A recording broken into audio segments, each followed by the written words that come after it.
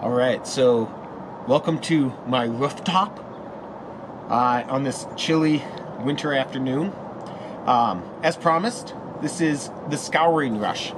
Equisetum hyemale. Hyemale. Equisetum hyemale.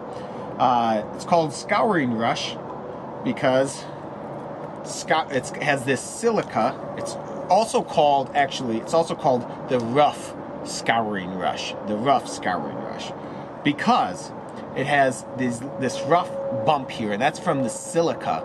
It's, in the silica, you can actually take your dishes in the old days and scrub with them because that silica breaks off stuff, I guess. Um, it's also called uh, horsetail as well.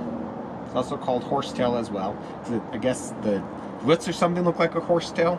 I'm not actually sure. And actually, it, this has really deep underground stems. This is a perennial. It's actually an evergreen. As you can see, we're in the winter, in the cold winter. You can see my breath, and uh, this is this is still growing in green, so it's an evergreen, and it has these deep underground roots or rhizomes, deep underground roots that are black.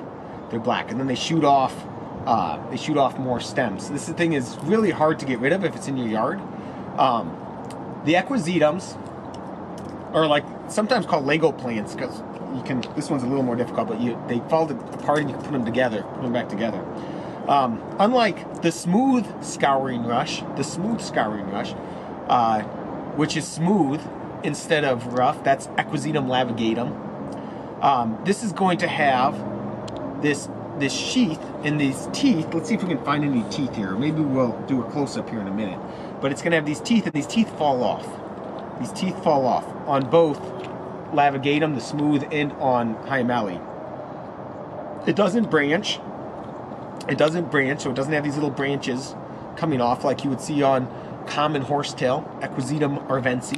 Once in a while, you may see, though, if it gets disturbed or broken or cut, you'll see these these new shoots coming off, but this isn't truly branched. This has just been damaged, and so it's shooting up, shooting up. So it's still usually keeps this unbranched structure.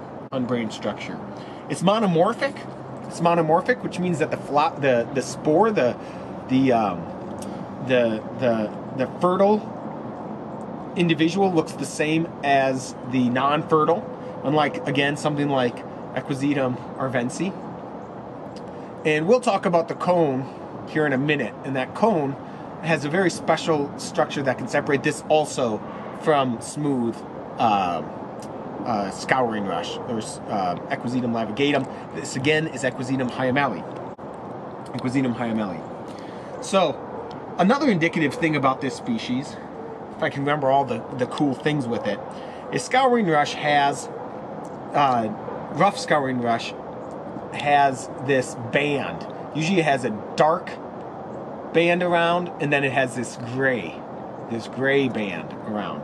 So let's see if we can see a better one. Like, uh, nah, this is good. So here we have it broken. I just I just cut the equisetum, uh, so you can see how the hollow the hollow centrum, that open hollow part there. Um, it that usually is about two thirds to three fourths the size of the stem. See, look how wide that is, how big it is.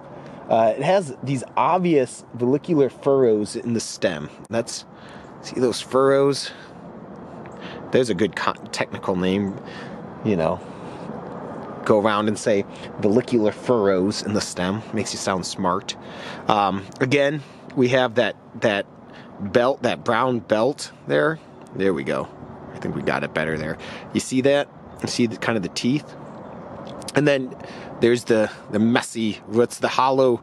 So it has that hollow underground black rhizome again.